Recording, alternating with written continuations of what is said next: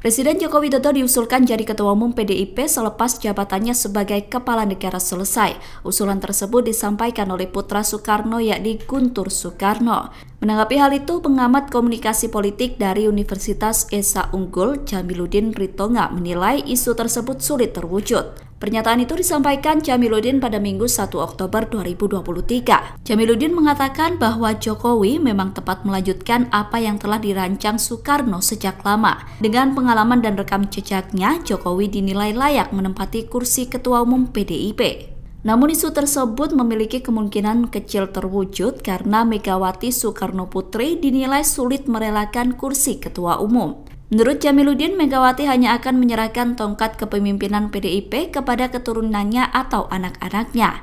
Jamiluddin berpandangan bahwa Megawati sudah mempersiapkan dua anaknya untuk menempati posisi sebagai ketua umum. Kedua anak yang dimaksud adalah Puan Maharani dan Prananda Prabowo. Oleh karena itu, Jamiluddin menilai usulan Jokowi akan jadi ketua umum PDIP sulit terwujud.